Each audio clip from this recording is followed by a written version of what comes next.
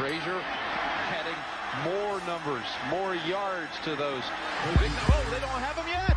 Look at Tommie Frazier. How many tackles can one man break?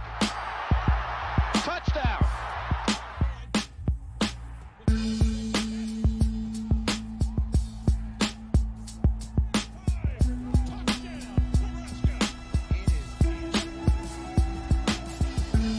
What's up, everybody, and welcome back into the Play the Fight Song College Football Show, the Nebraska fan perspective. If you've never been here before, a little outlook on what we do throughout the season. We're going to preview and recap every game. We'll do the recaps for every week during the preview for the following week. Obviously, we don't have one because we are in week one of 2024. The hype has been built, the stage has been set. Dylan Raiola has been named the starter. And the point of these is for you as a fan to learn about the team you're going to play. Obviously, if you're a fan of Nebraska, you know what they look like. You've watched every game, every snap. You know what needs to be changed. Everybody's got their own opinion here. Point of this, we're going to teach you a little bit about UTEP. I can promise you, you do not know as much about UTEP as you think you do and what they're going to look like this year because there's a lot of question marks around this team. So there's a lot to go through tonight. And we're super excited to be back in the college football world. If you're not familiar with Play the Fight song, check it out. It's a college football wide show where we cover previews, predictions, bets, all the above. And it's not just the regular fans sitting around next to each other's chopping it up about ball. This is researched stuff. We live, eat, breathe, and die on this sport. And it's for kids from the Midwest. So show your support. We have representatives from Iowa State, Iowa, and Nebraska. So the mix is there. However, Tonight is about UTEP, so let's focus upon that. UTEP comes into Lincoln with a new look, a new head coach, a lot of excitement, and possibly one of the more passionate G5 teams that you would never have expected to be fan bases, in my opinion. I've seen the accounts on Twitter talking their smack throughout the offseason. So this is a big game for both Matt Rhule's second year to get off to a good start and for our team to establish some confidence rolling into a massive rivalry game in week two. But I promise you, this this is not a team to overlook by any means. And we'll go into each individual part of their team and what they're going to look like and what they're going to try and implement in the 2024 season. There's a lot of unknowns with this UTEP team. So let's start by going through from the top the UTEP Miners. If you don't know about them, they're out of the Conference USA. It's a not very historically great program. Uh, there's a lot of question marks with the transfer portal that came along with their head coach, who we're going to talk about. But let's start off with a little brand raking for fun. It's a beautiful brand. The navy blue, the orange, the UTEP Miners, the Miner logo. They have some awesome throwback uniforms, I believe, are featured in College Football 25. I think at this point, as fans, we've all played against them at one point in that video game, but great brand. Looking at the team, let's talk about their new head guy, Scotty Walden. Scotty Walden comes in from Austin Peay. He was the head coach there for not the longest time, but he was very deliberate and very successful within his time there, especially for that school's history. It's a young, fiery guy. In his time at Austin Peay, he was 26 and 14 as the head coach. He, when I say he's fiery, let me tell you this. If you go back and watch house highlights like I've done. I watched 11 Austin Peay highlight games from last year to, to teach you all of this, or at least let you know. This guy is an electric factory. He, he acts like the strength and conditioning coaches do at other Power Four schools, like the Northwestern strength conditioning coach, headbutting players. Like that's the type of guy Scotty Walden is. He's going to bring a fiery, not fearful team into Memorial Stadium this weekend. Like if they kick a field goal and make it, going to be backflipping on the sideline. He's just that type of guy. He's young, he's hungry, and a lot of people think this UTEP team is going to be successful because they got a guy like this as their head coach now. So in, in the future, I really do think UTEP's going to be a successful program, at least way more successful than they've been in the past. UTEP is a school that hosts 24,000 students. It's not the biggest in the world, but it's not tiny and they have not won a bowl game. Granted, we haven't been to one in seven years. I understand. I'm a realistic fan. I've been around, I've been through the ringer with every one of you, but they haven't won a bowl game since 1967. UTEP, that is. So they're really trying to spark something that hasn't been in existence for a long time with a young, fiery coach like Walden. And I really do think he can get this program there eventually. He led Austin Peay to their first back to back winning seasons since 1983 and 84, the past two years. Last year, they went nine and three. They won their conference, made the FCS playoffs, got beat by Tennessee, Chattanooga, got a chance to watch that game. And I'll tell you where they struggled and probably why they lost that game. And it looked like after watching most of that team, and I focused on uh, watching Austin Peay because a lot of the transfers on the offensive side of the ball, some impactful guys on the defensive side of the ball are all at UTEP now. They came with him. He said he's going to focus in his time at UTEP on recruiting high school talent out of Texas, not really the transfer portal. But within his first year, he did bring a lot of his production and talent over from Austin Peay. That's just the team that they're going to be. So the culture is a little bit more established than most first year guys, especially at G5 schools, just because he brought them along with him. But this is a culture based program with a head coach like Walden. He, he is a likable guy. Like if he was head coach at a power four here within the next five years, I don't think anybody would be shocked. And it's not to scare you, but it's just to prepare you for he's not going to go in with any fear. He's that type of, of coach. I think the only time any of you can ever say you've watched Austin Peay, unless you're a sicko like me, it's probably when they kicked off the COVID season. Remember, they were that first game on ESPN during the COVID season. That's probably the last time you watched Austin Peay, and that's okay because it's not a huge program. But this guy made him into a name, into a competitor, into a consistent FCS playoff talk team, and then he hits the transfer portal himself and ends in at the University of Texas El Paso. So we're excited to bring him into Lincoln. It should be a fun team to watch from a coaching perspective. He got hired there in December of 2023. And from all the offseason stuff I've watched on UTEP, it looks like the culture is really getting established there. He's an excited guy. He's kind of revitalizing this UTEP brand. And hopefully they can be competitive here within the Conference USA in the next few years, but just not week one in Lincoln. Let's talk about the other parts of their coaching staff. They have two guys. It's a very young staff that made the 30 under 30 list, according to 247 Sports. And that is their passing game coordinator, Joe Papalardo, and their running back coach Jordan McNeil. And their running back coach made it for a good reason because that's the guy I'm going to highlight on the offensive side of the ball for them is their running back, which we'll get into. But they were both on his staff, on Walden's staff at Austin Peay. Trent came over to UTEP with him, and both a really young. They're both young, but they're really highly touted by 247. Like these are going to be the guys up and coming, being coaches at your Power Four schools here within the next five to 10 years and looking to build a little bit of spark down in UTEP. So it's going to be a good school to keep your eye on after their time in Lincoln, too. And I really don't think people are, I think people are more underestimating this team than they are overestimating this team coming in week one. So we'll, let's dive into the offense side of the ball first. And let's talk about the running back room. I had mentioned the coach, 30 under 30 list. Look at the individual guy that stands out. And obviously, this is somebody that Nebraska will have to take down. Otherwise, they're going to run into some issue. And that's Jevon Jackson Jr., who was a first team all conference guy for Austin Peay last year. 1,300 yards, a little over 1,300 yards on the ground. He was a third team All American.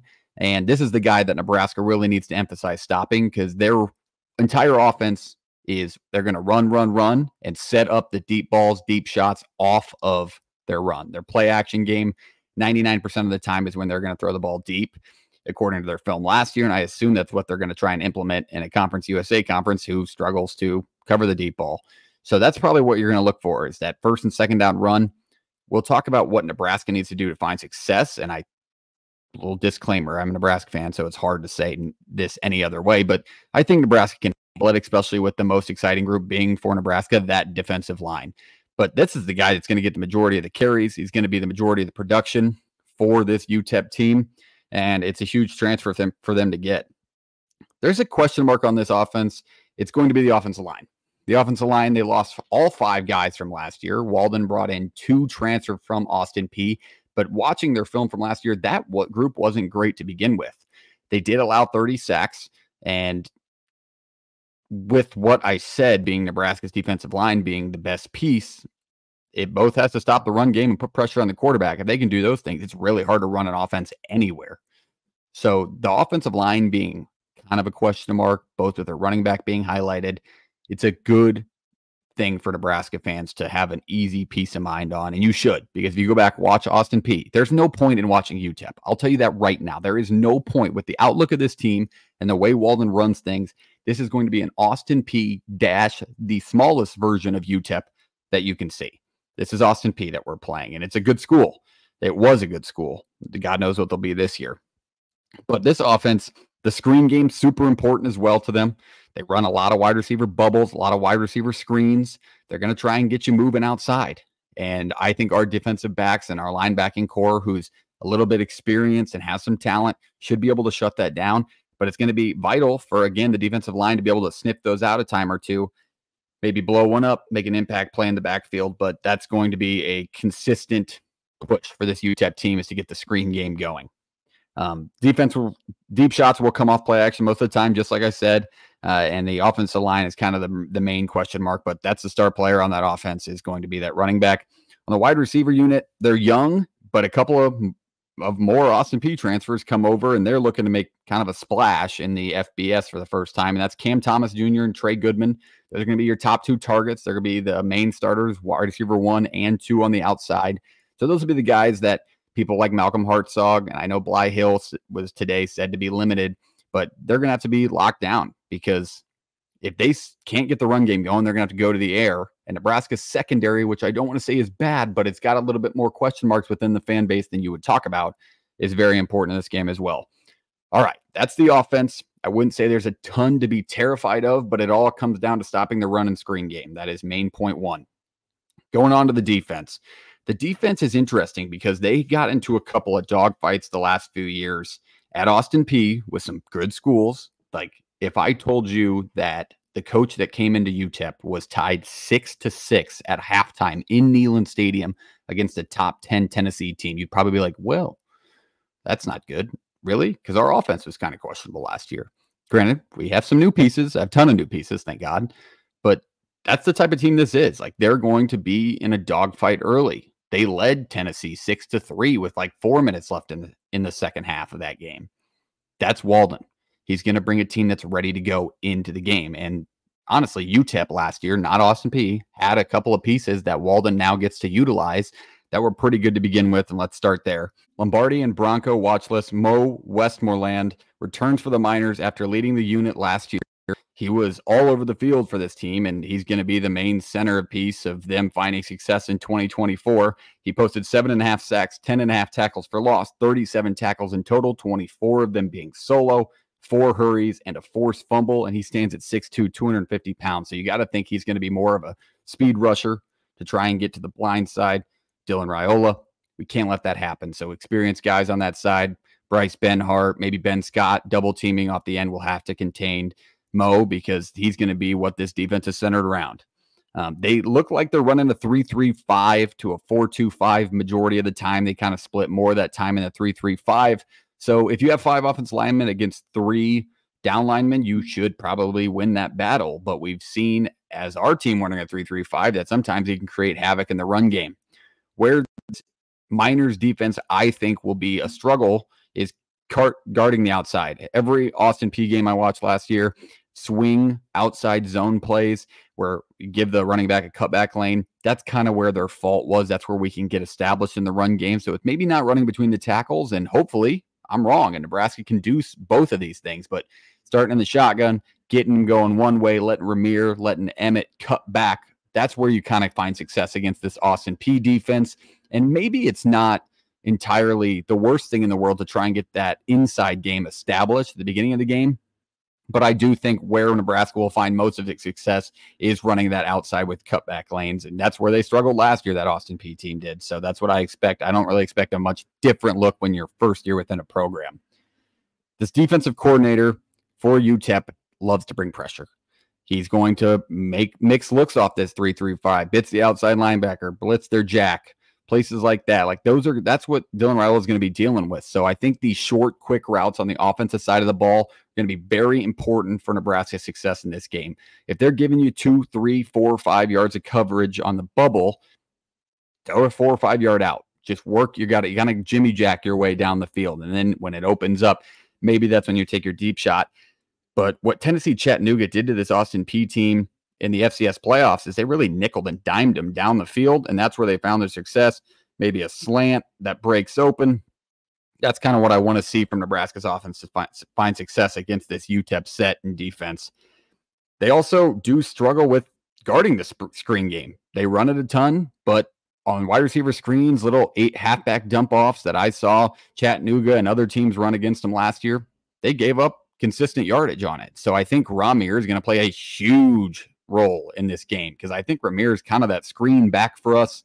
Emmett could be as well. We didn't see him much in those looks last year with the offensive sets that we had. But I think both those guys are going to be involved with some screens. Maybe Jahmal, maybe you get Neyor out there on a screen. We saw a lot of that in the spring game. That's super important for Nebraska's success overall, I think, in week one. I also do want to talk about how on the UTEP defensive side of the ball, they tackle pretty consistently in open space. So I think it's going to be important for Nebraska. Obviously, that ball security. We all know about the turnovers last year, even off stupid things like snaps. It's important for Nebraska to find a consistent running game outside with maybe laying the boom a few times because that's what Heinrich did really well early in his career last year against La Tech. He would initiate contact. You'd be you'd be shocked at how teams and players react when they maybe aren't getting blown off the ball every time they go make it try and make a tackle or blown up. So I think maybe laying the boom a first few times could help out Nebraska on the offensive side of the ball as well. But that's kind of your full look at UTEP. I think Nebraska should handle this game. Really, they should. And, and, what I expect from Nebraska is kind of a slow ground and pound to start. Like I could, Matt Rhule's the type of guy where if we came out and threw a 75 yard bomb on the first play of the game, or at least tried to, it wouldn't shock me just to, you know, get the game going. But I do expect him to come out in more of that pro style, uh, having a fullback out there, letting Lindenmeyer get to the outside, maybe establish the run game early, and then try and let Dylan let it fly after the maybe the pre first quarter nerves calm down. But it's in a game Nebraska should handle, and that's for good reason. There's too much excitement. It's the first time we have not played a Power Four opponent since 2019 in week one. So you have to take advantage of your situation. Start off 1 and 0. It's a very important game, but I do think you need to look more into UTEP. Hopefully, I told you enough, and you're like, all right, maybe this is going to be a close battle. I don't know if it'll end up being close, but it'll be closer than you think at the start. Like, I don't think this is going to be the type of opponent like a Louisiana Lafayette in 09, where we are up 28 to nothing by the end of the first quarter. Like, this is going to be a slower pace game. Walden knows how to control the clock, how to get his team into games they shouldn't be. Go back and watch Austin Peay. I promise you, this is a good head coach, and you will think after watching this game that UTEP is going to be a successful program down the road. Running back room, we've already talked about. I think Rahmir and Emmett play obviously a huge role within our offense anyway. But a Neyor in the screen game could make a big impact. So watch out for that. On the offensive line, we already talked about that. And everybody knows the quarterback situation. Dylan, get in there, be yourself. On the defensive side of things, defensive line obviously important as I mentioned, but the cornerbacks are really going to be where the difference is made. Locking down screens, getting off blocks, wrapping up. That's where Nebraska can really slow down this game kind of make UTEP change plans on the offensive side of the ball and really take advantage of late in the game. So finally, score prediction. What I think that's going to happen in week one for Nebraska. I do think we take this one. I think Nebraska is going to win 31 13 in those last, that's going to be 24 13 probably with seven, eight minutes left in the fourth. UTEP will start taking chances because they're aggressive. And that's when we'll kind of close things out. But I do think Nebraska is too deep and experienced on the defensive side of the ball to give up a ton of points here but it will be a slow paced game at the start. So 31 to 13, I got Nebraska winning. Hopefully, I'm right. Drop your sc- score prediction. I want to know what you think. If you hit it head on, I'll send you a No Rivals hat. And if you haven't heard of No Rivals, check them out. They're a great sponsor of the show. ShopNoRivals.com. Nebraska is not available yet. However, there is a ton of Power Four teams available. The premium hat collection, exclusive designs. They are beautiful. So check those out today. And if you hit the score on the head, I will send you a no rivals hat. I promise you I will. So 31 13, I got Nebraska winning in week one. We will recap this one when we preview Colorado, which I'm sure everybody will be tuned into. But I appreciate you joining me. Check out Play the Fight Song. The week one preview is tomorrow night, 7:30. If you're listening to this on Monday, it's Tuesday, August 27th is the day of the show. Check it out. We will preview all five games. If you only care about Nebraska, you're in the right spot. So hit that subscribe button today. I appreciate you being here. We'll see you next time. Go Big Red.